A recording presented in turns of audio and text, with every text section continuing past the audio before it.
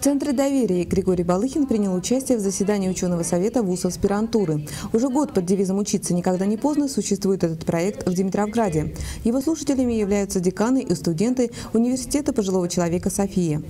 Мы сегодня констатируем, что наше объединение, оно результативно, оно должно быть жизнеспособно, оно проявило уже себя.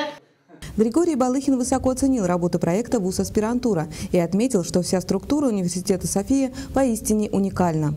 Вы люди, которые очень много в жизни э, достигли и, и в науке, и в общественной работе, в общественной жизни, и в других областях, да, и тем не менее, вот вы живете по принципу «покой нам только снится».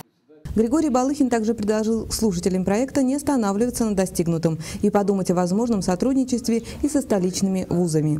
После встречи с необычными студентами Григорий Балыхин отправился к школьникам. Депутат Госдумы посетил музей Курской битвы в педагогическом лицее.